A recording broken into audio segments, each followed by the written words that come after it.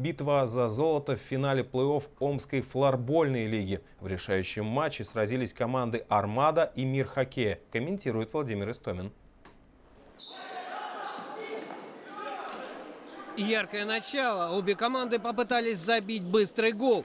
Уже на первой минуте игрок команды «Мир хоккея» Сергей Терехов открыл счет в матче. В ответ «Армада» устроила настоящий обстрел ворот соперника два точных броска.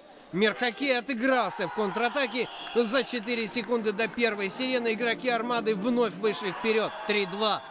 Началась э, быстрая скоростная игра, соперник забил гол. Мы комбинировали и ответили двумя быстрыми голами. Взрыв в начале второй 20-минутки. Флорболисты «Армады» забили 4 гола подряд. И все в быстрых атаках. Три красивые комбинации, бросок со средней дистанции.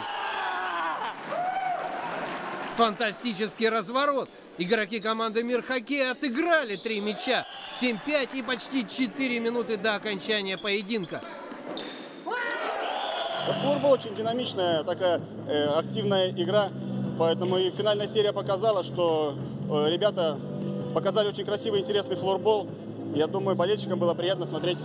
Армада сделала решающий шаг к золотым медалям. Быстрая диагональ и Евгений Гаврилов касание переправил мяч в ворота. 8-5. Вторая победа в серии. Команда «Армада» впервые в своей истории выиграла чемпионат Омской флорбольной лиги. Не думали, что придется сушить игру, но яркие моменты, они все были до этого, когда мы забили э, много быстрых голов, и поэтому э, почувствовали запах, то, что можем дожать соперника, и в конце уже держали дистанцию и удалось забить последний гол. И мы рады, то, что мы победили впервые в нашей истории, в истории нашей команды.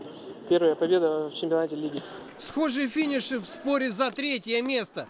Флорболисты клуба «Полет» вели 3-0. Но в середине второго периода соперники, команда ветеранов, сумела сократить разрыв до одного мяча.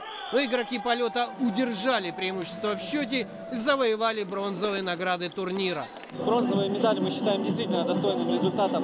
А, конечно, мы хотели а, победить в полуфинале и выйти в финал, но нам противостояла очень сильная команда «Мир хоккея», а, которая в упорной борьбе сегодня проиграла команде «Армада» за золотые медали. Но мы с оптимизмом смотрим в будущее. Считаем, что впереди кубок, э, который мы вполне можем выиграть. На этом флорбольный сезон не завершается. 28 февраля начнутся матчи Кубка Омской лиги. А в конце апреля главная команда нашего региона «Сибирь» выступит в финале чемпионата России, который пройдет в Нижнем Новгороде. Владимир Истомин, Артем Колесников, Антенна 7.